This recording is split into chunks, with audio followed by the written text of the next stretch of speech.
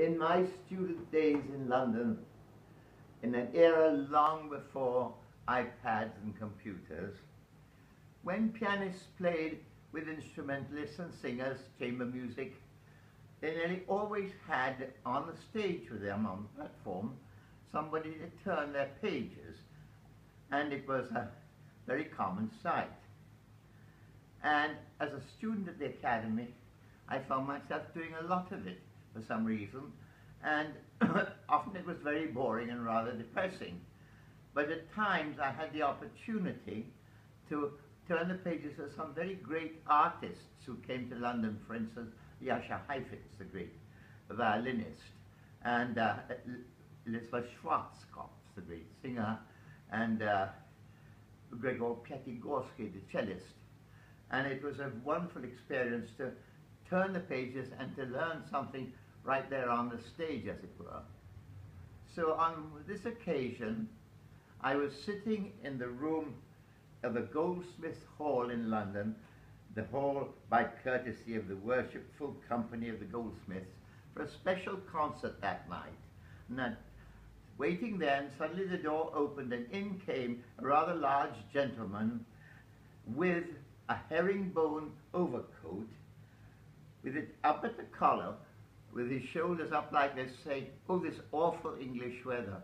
well, it was a March day, and it was Francis Poulenc, the great French composer. And behind him was the elegant figure of Pierre Bernac, the great baritone, who was uh, one of the greatest of all the French singers of the period and a close associate of Monsieur Poulenc. The concert was magnificent, and Monsieur Poulenc played solos. They, they gave music by Duparc and Schumann and Paul Poulenc and Ravel. So after the concert, I asked Monsieur Poulenc he, whether he would have a little time to hear me play sometime, It was because I was learning some of his compositions. And he said, yes, I would love to, but you know, tomorrow I have to leave first thing for Paris, he said, but when I come the next time, do please be in touch, and I'll be delighted. And then there was a little pause, and he, he, he was a very, very amiable person.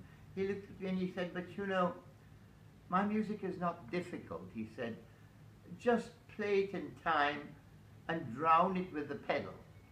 And I thought the last was a bit of a facetious remark, but it wasn't, because when you look at the score, you see the long pedal marks, and indeed, in his playing, the pedals were so strong that sometimes I almost thought he might be over pedaling.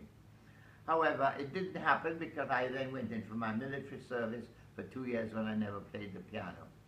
But as I've been practicing this piece to video it on my channel, I thought some of my viewers might be interested to know of my little brief contact with this great composer and the joy of playing this piece. I can't tell you, it is so wonderful because it is magnificent little piece, so perfectly shaped. He wrote everything from huge orchestral works and operas to these magnificent short piano pieces.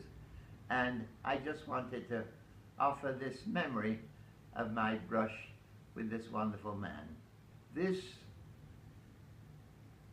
novelette is a superb example of his mastery of the short piano piece very tuneful and exquisitely worked out and a fine example of his art.